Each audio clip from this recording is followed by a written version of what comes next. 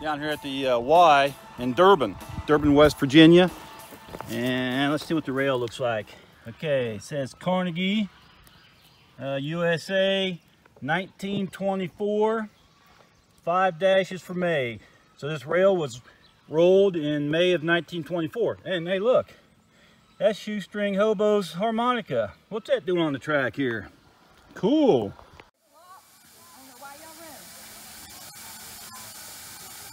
Hello everybody, we're getting ready to ride the Durbin Rocket.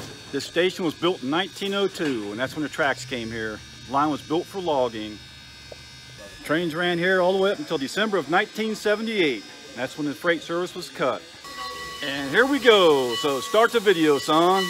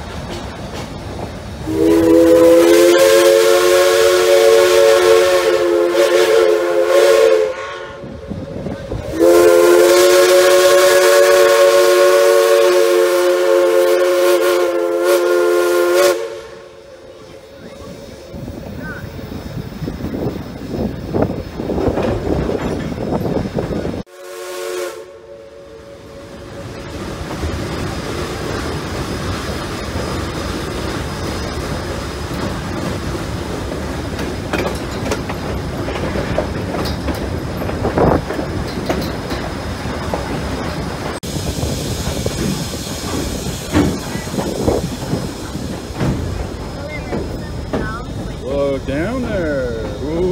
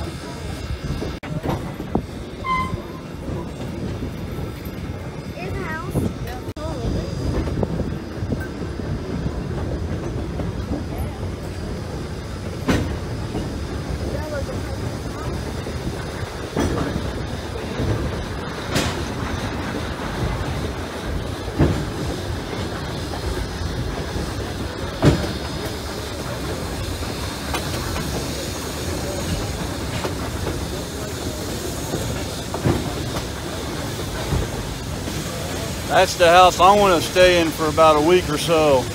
Watch some trains.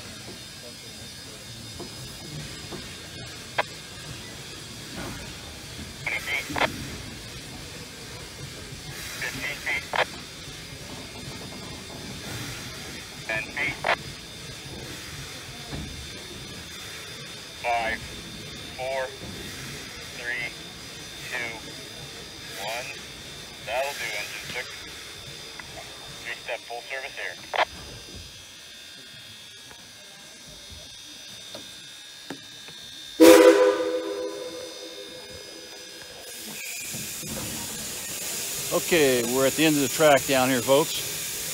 I think they're going to leave a caboose down here, I believe. That's where the uh, they had those caboose castaways down here at the end of the line, and then we'll go back the other way too.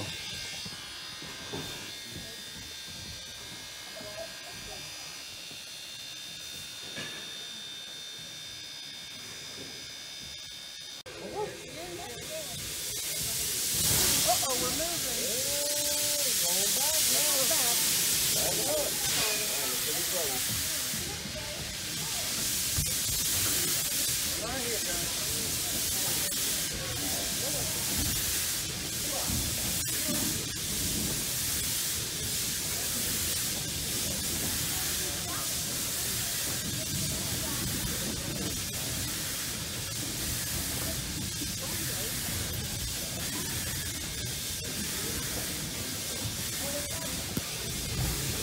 They just cut off a caboose down there, the castaway caboose.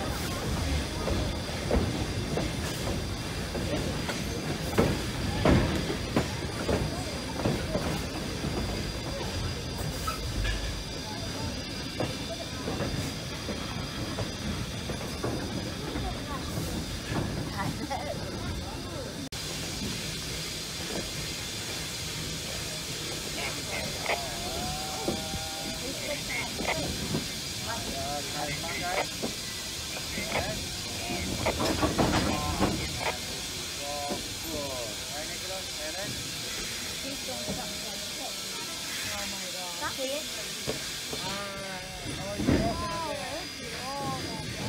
not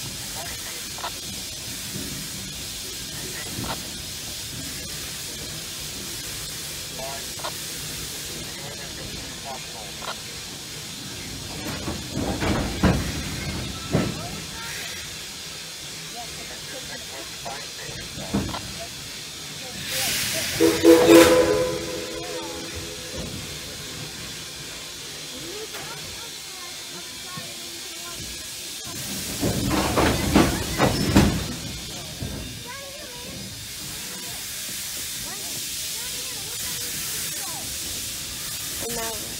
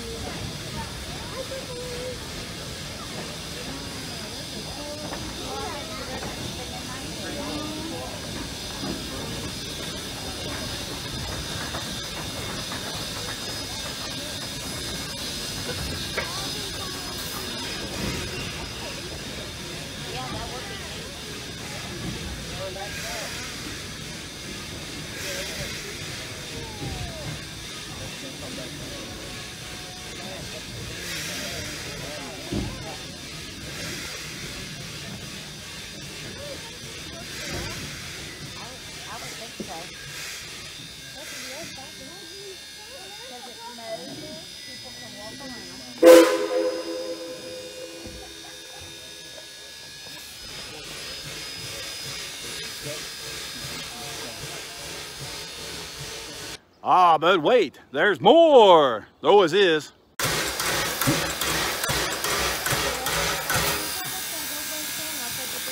We just got off the train here for about 20 minutes down by the river.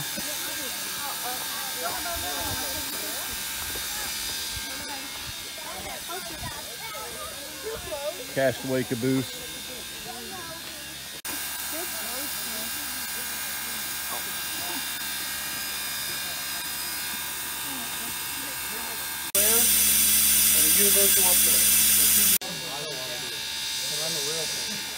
Hello everybody, we are in the caboose right now at the very end of the train and we're getting ready to head back, going back eastbound.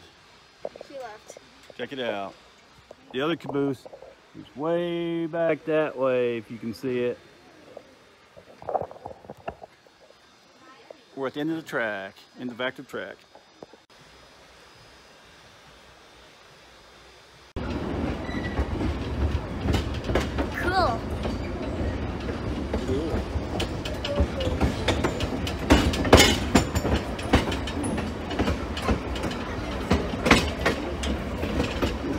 Hi Abby, what are you doing? You having fun? Yeah, at least smoke's not on her face. Yep, Oh, okay. Uh, I'm no smoke in your face here. We're going back, eastbound. Look.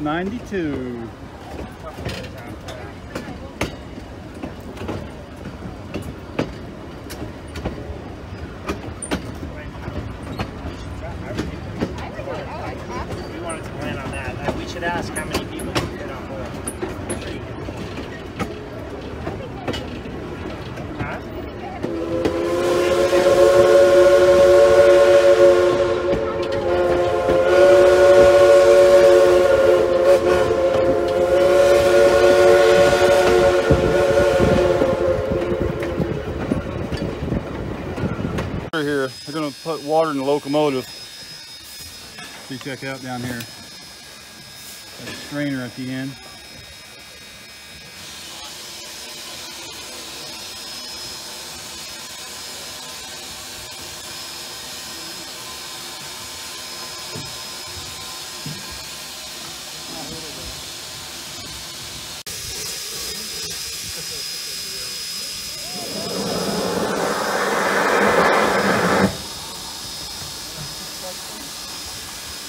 All right, welcome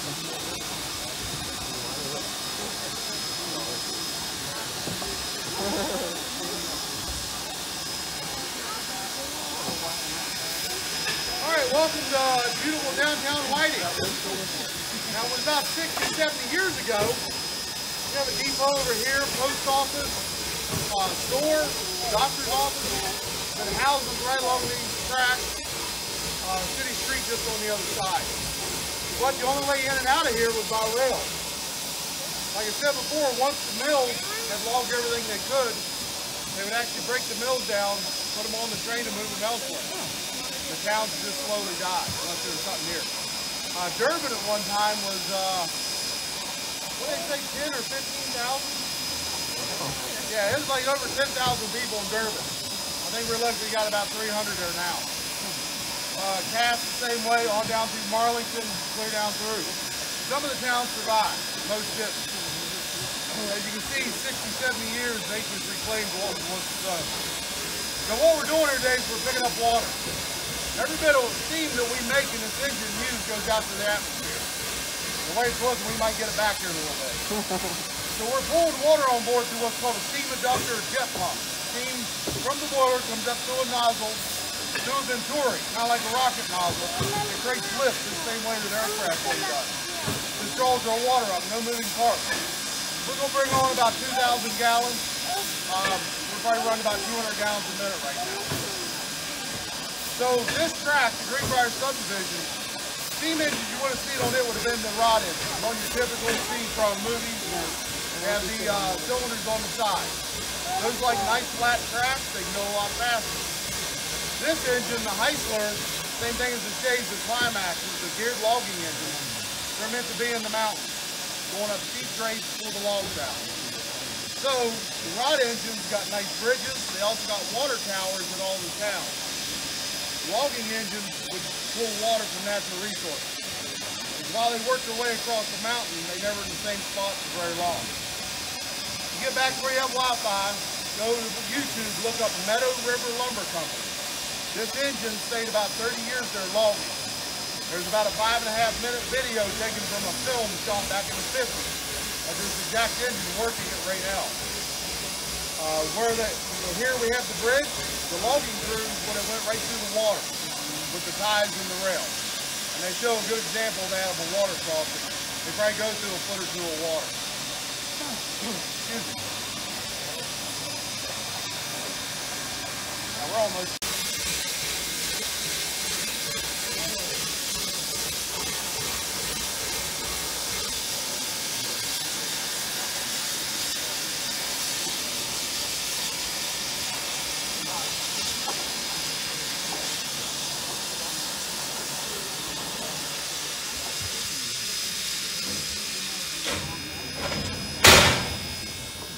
Oh yeah, I got. I'll show you something here, and I calm down. So this track, pretty much all the way up from Rossford, was built by hand. Um, as far as I can tell, there's no mechanical, there's no steam engine. It's all done by men, horses, and a lot of dynamite. Um, what got me was from Cass to Durbin, they built 15 miles to Virgin Forge in a year. So they moved all this rock in a year by hand. The track crew that built this was mostly immigrants from Europe, Italian, Hungarian, I mean Irish, we had everybody here. A lot of them couldn't speak English. So this is a reproduction. but You get a little tag, a tool tag, or the miners use the same thing. Uh, so you could actually walk into the company store, get some new shirts or boots, get some food, and use this as a way. You could also walk in and get paid, go ride the train out of town and go to another logging outfit. The loggers are notorious for that. They were very transient guys. They might work six months here, go someplace else work. They might even hitch a ride clear out to the west coast.